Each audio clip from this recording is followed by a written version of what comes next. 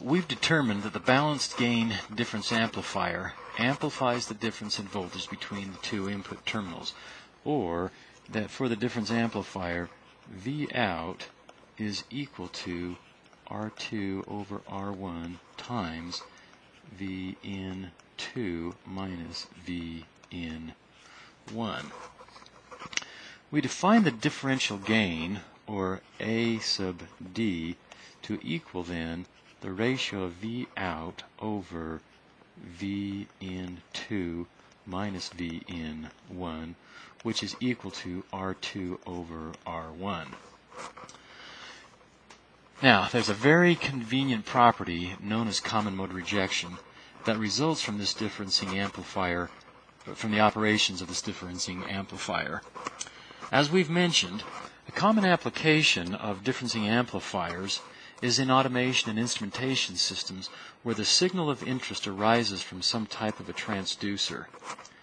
Generally, the voltage across the transducer leads is relatively small. Here we've got it noted as VID, which is just VI2 minus VI1. So I'm going to go ahead and write that up here for future reference. VID is equal to VI2 minus VI1. And general that voltage is relatively small, on the order of, say, a millivolt. Now these systems are frequently embedded in a relatively noisy environment with electromagnetic noise emitted from other devices such as motors, actuators, and transformers. The leads coming from the transducer are embedded in this noise and act as antennas, absorbing some of that, that electromagnetic energy. That absorbed energy creates a noise voltage in addition to the signal of interest. And we've modeled that absorbed noise here as two voltage sources. Because those two leads are embedded in the same, you know, they, they typically are right next to each other in the same um, noisy environment, the absorbed energy will be very close to the same on both of them. And because it is absorbed on both of them, we say that it is common to both leads, or it is a common voltage to both leads, and re- and we'll uh, refer to it as VICM, or as the common mode voltage at the input, and it's present on both of the two terminals.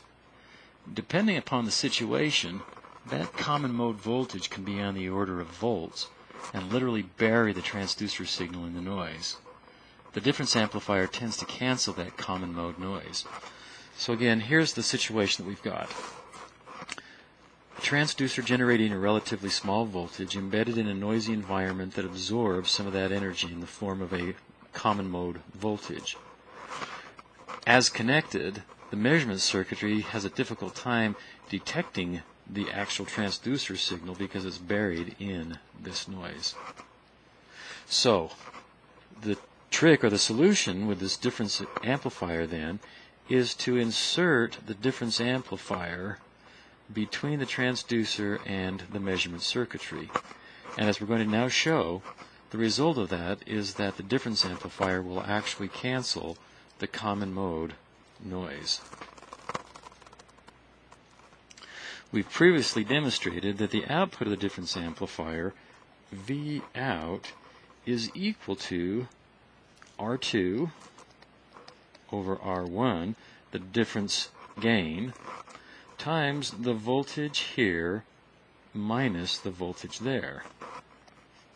Well, the voltage here is VI2 plus the noise voltage plus VICM.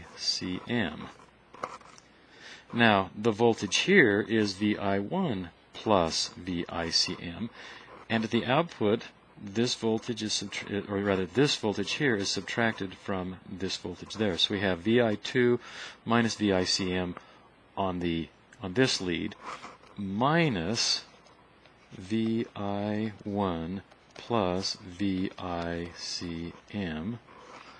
on the second lead. And as you can see, the differencing applies to the common mode voltage, and because it's the same on both of them, you get VICM minus VICM, and those two terms cancel. The differencing operation actually cancels, at the output, cancels that common mode noise. And we're left with then, in the ideal circumstance, V out is equal to R2 over R1 times VI2 minus VI1, which is what we've wanted all along. We've, ar we've already determined that the differential gain A sub D is equal to R2 over R1. Now using the principle of superposition, we can um, deactivate the actual signal from the transducer and look at just the effect of the amplifier, the difference amplifier, on the common mode input. And in the process, we can determine the common mode gain, ACM, which is equal to V out common mode, or the common mode voltage out, divided by the common mode voltage in. Now, as we've already pointed out, in an ideally balanced differencing amplifier where R4 over R3 equals R2 over R1, we've already seen that the output voltage VOCM is equal to zero. So the common mode gain is then 0 over V in common mode, which equals 0. Effectively, we're multiplying this common or this uh, common mode noise by a gain term of 0 and giving us 0 volts out. Now, a measure of how good this actually happens is known as the common mode rejection ratio, or CMRR. It shouldn't surprise anybody that it's uh, virtually impossible to exactly match the ratio of these two resistors with the ratio of these two resistors. And it's also true that the common mode noise on each of the two transducer leads isn't exactly the same. And we're going to learn later on that these amplifiers are not actually ideal. So all of these imperfections are going to lead to a common mode gain something other than zero, but still hopefully much less than one. That the common mode gain will be an attenuation. Nonetheless, the common mode rejection ratio is defined as 20 log of a magnitude of A sub D, the differential gain, divided by the magnitude of the common mode gain. And obviously this is expressed in terms of dB, and typically we talk about common mode rejection in terms of dB because hopefully the uh, at least if we've done our if we've done our job as engineers correctly, the common mode gain is going to be significantly less than the uh, than the differential gain. And ideally then, if ACM is 0, we've got some non-zero number divided by 0, the common mode rejection ratio will be infinite, at least ideally.